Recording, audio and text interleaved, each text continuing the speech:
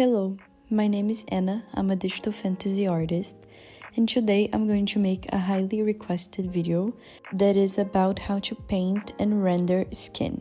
So, without further ado, let's get right into it. Here I'm just showing my sketch. It's really important to have a good sketch. You can see that I really detailed everything that I could, but we're only going to focus on the skin right now. So I want you to notice how I sketched the hands, her collarbone, her kind of facial features, her chest. I want you to focus on that. If you aren't sure how to sketch portraits, I have a whole video about it. I'm going to leave the link here.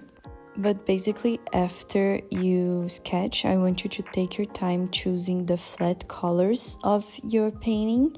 And for the skin, I chose kind of a middle tone, not really white, more like dark yellow and then I want you to get your lightning references. I chose all of this lightning. It's really important to have the specific light you, you want so you can go to this next step.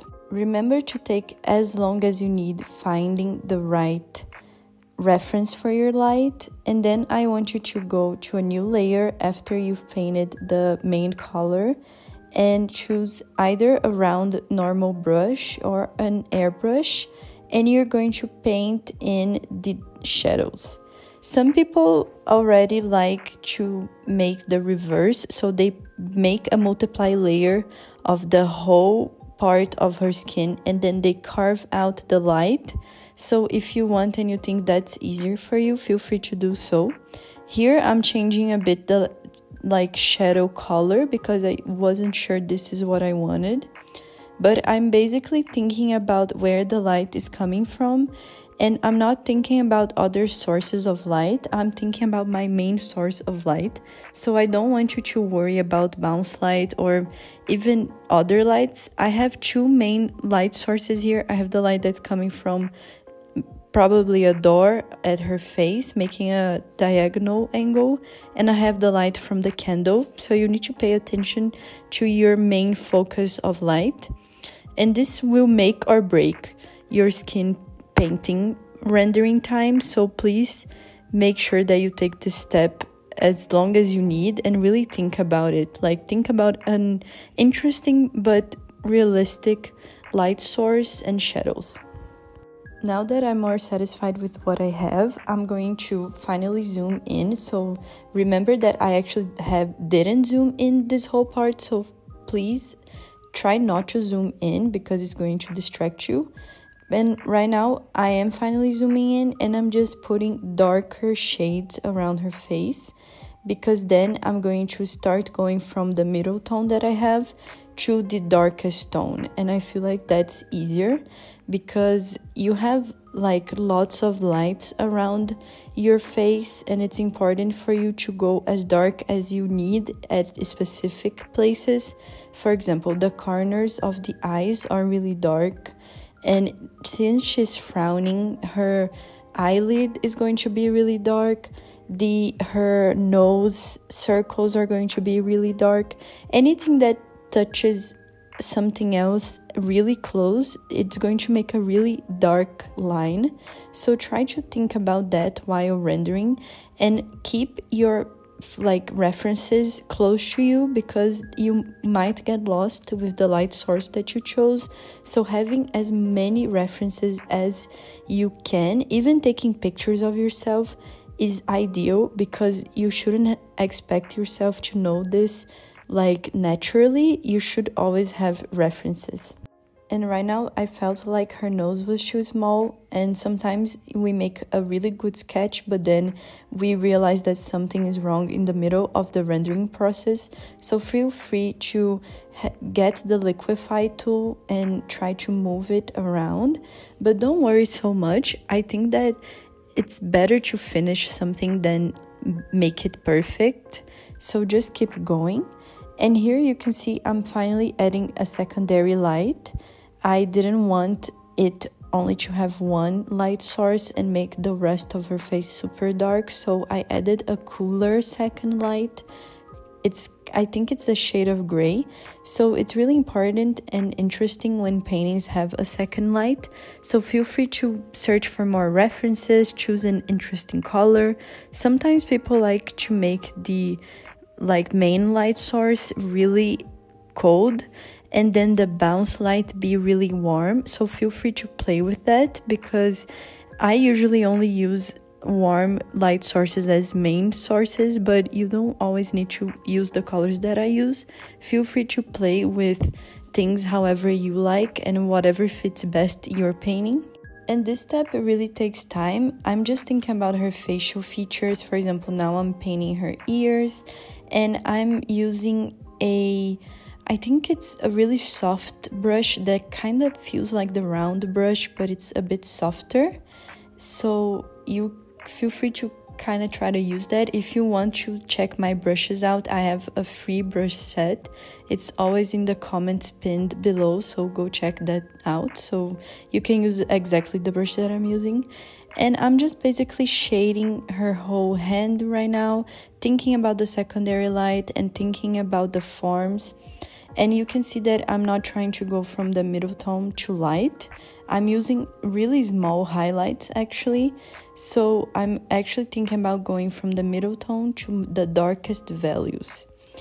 And whenever I felt like I didn't I didn't go like dark enough for example here I'm adding another multiply layer and kind of making the shadows pop more because I thought the painting was looking too flat so feel free to add maybe color dodge layers if you think you want your painting to pop out more or add multiply layers if you feel like your painting is not as dark as you want it to be. Here I'm starting my second rendering process for the skin and right now I'm actually going in and adding even more detail and again, I'm still not thinking about the textures, but I'm thinking about blending. When you're painting skin, it's really important for you to realize that's like you can even look at your own skin right now. You can see that some parts of your skin, they look like they were actually airbrushed.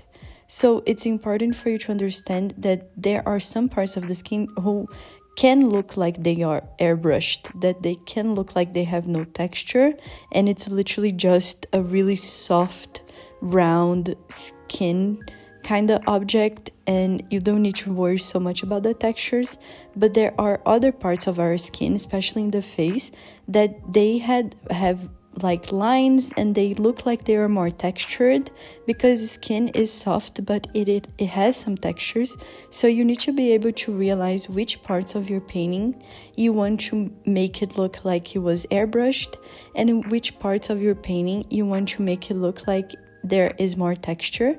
This depends a lot when the character is like older or younger, like baby characters or child, they're going to have a lot less textures in their skin, and older people are going to have much more textures and lines. So it helps for you to think about how old you want to make your character look. Here, I really wanted the shadows to look like they have like less texture, so I used lots of airbrush around the the shadows. But in the points of where the light hits her face, I made sure to like render more and make it look like it's actually a 3D object and not as flat as it might look like when rendering skin as well, it's important to remember that we do have eyebrows and eyelashes that you shouldn't render them with the same brush that you use to render skin because they are kind of like a hair. So it's important for you to make it look like it's hair or feel like it's hair and not just feel like it's just another part of the skin, which looks weird. So, a good way to do that is to add little specks of hair or use a different brush with more texture to look like there is more hair. Something else that you can notice is that the eyes, even though they have some highlights, they are actually more they feel like they are more airbrushed than skin, so feel free to render your eyes differently and make it look like they are kind of more glassy than the skin.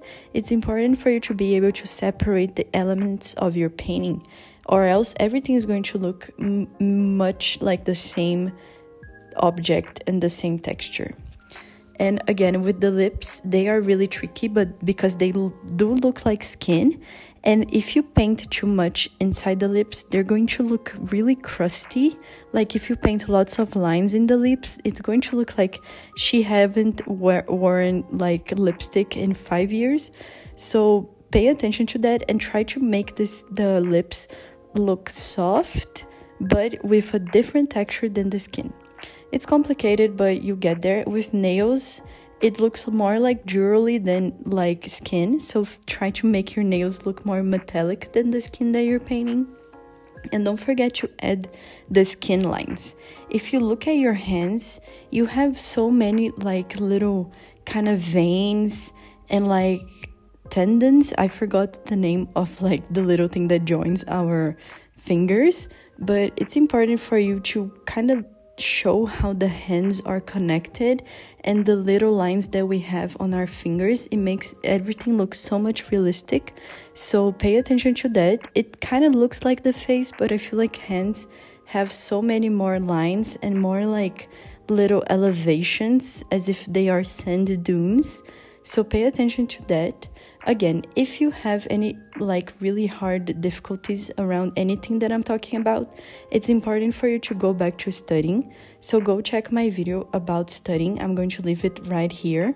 And if you feel like you haven't observed the things that I'm talking about, you should go back to studying, specifically hands, because hands are so hard.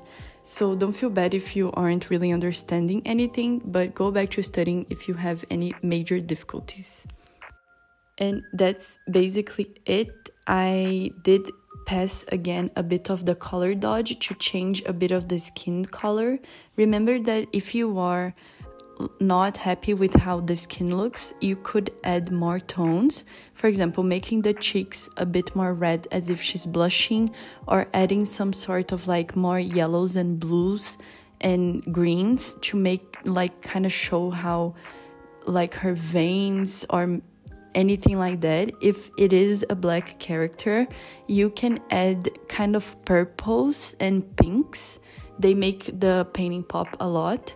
I have a portrait tutorial with a black skinned character if you are more interested on learning about darker skin tones.